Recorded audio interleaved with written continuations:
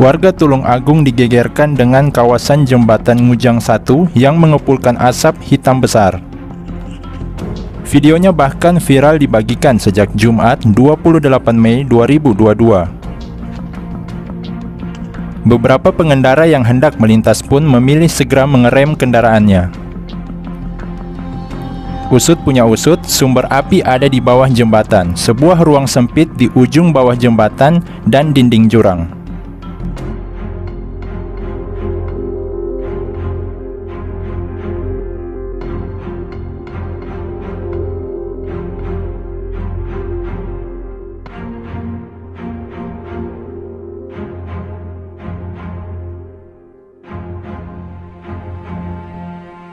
Thank you.